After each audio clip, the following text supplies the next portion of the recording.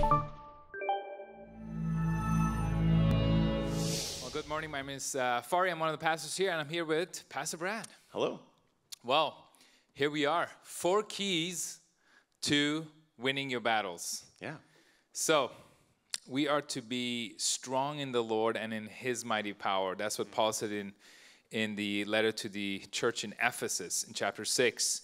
Now, how do we know if we're standing in our own power or in God's power? How do we distinguish that?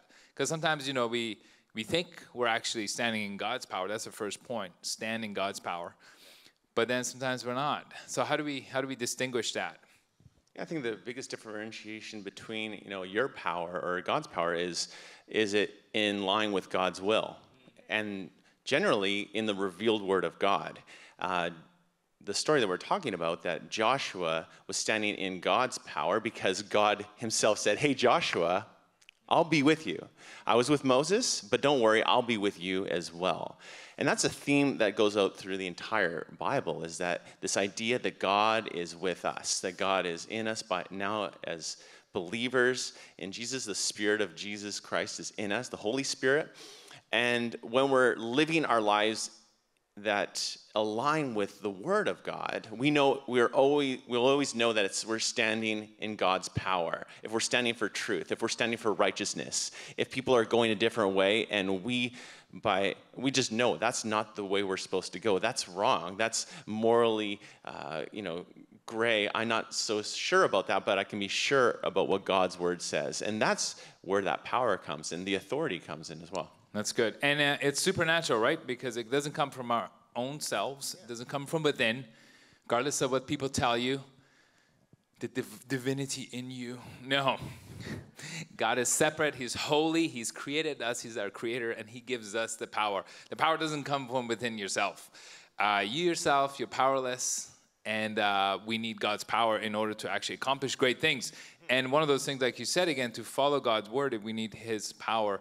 And the way that we know, you said well, is whether we are standing in God's power and doing what He wants us to do, is if we're following His will, which is revealed in the Bible. Because a lot of people ask us, I don't know, you've had people come and tell you, what is God's will for me? Uh, yeah, all the time. Read the Bible. I mean, it's really Bible. fun. It's really Why are you funny. asking me, man? You got your Bible right there. It's like, Come on. It's really funny whenever, and you, of course, have had this conversation many times. We've joked about it, but when people come to us, like, I just need to hear from God. I just need a word from God. It's like, well, hey, when's the last time you've cracked open your Bible? It's like, well, I, you know, like a year ago. it's like, I read it at church once. Uh, It's just like, well, God actually put a lot of effort into us having the scripture. He inspired, you know, over 30 authors for, you know, over 1800 years to tell one continuous story of redemption and salvation. There's a lot about God's will and his will for your life and how you're supposed to live it. It's kind of in there. We say we base our lives on this book. We should maybe take a look at it. That's it. And this is, again, not to say that you can't come to the pastors. I know there's different giftings that God has. People are like, I ain't calling Pastor Fari ever again. He's going to mock me live. No. Um, this is about you. You can def- of course, that's why we're here. Pastors are here. We gifted to teach and to explain and expound. Absolutely. But then we also each individually have to go into the word, study it, and read it and believe it. Like we don't go just to you know Pastor Dave and say, Pastor Dave, tell us you know what God's word says. Uh, of course, he does. Uh, he teaches us every week, but we also go into it every day, and we we expound on it and we read it, we study it hard. So Absolutely, and uh, I think the point is we- we're led by the Holy Spirit, and we talk a lot about that in church. But um, we tune our spirit to be able to hear the Holy Spirit through the Bible because the Holy Spirit sounds like Scripture. And so when we're fluent in the language of Scripture, we become fluent in the language of the Holy Spirit because He inspired the Bible. And so we're able to recognize okay, is this the Holy Spirit or is this just my imagination? We, we're like, oh, I have tuned my, my spirit to hear what God's voice sounds like through His Word.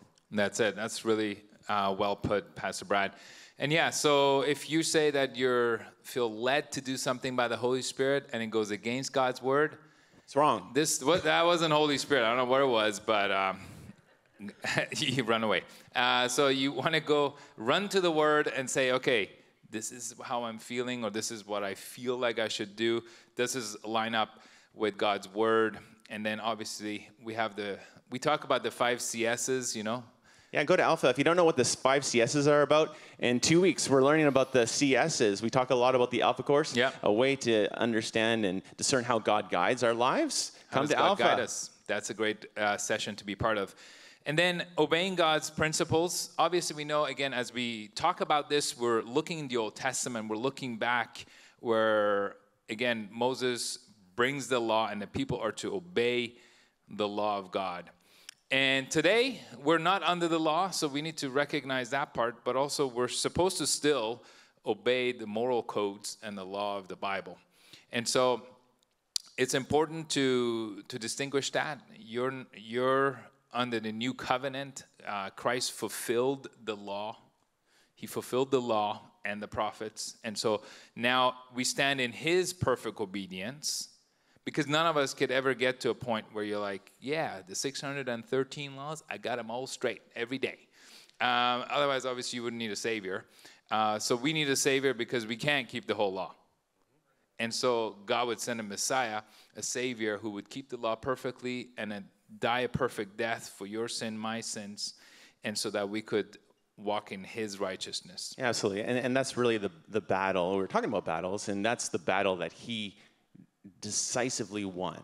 He defeated the powers of darkness on the cross. And when we talk about these battles, we we already have a victorious leader in, in Jesus, the, the, the creator, the God of the universe.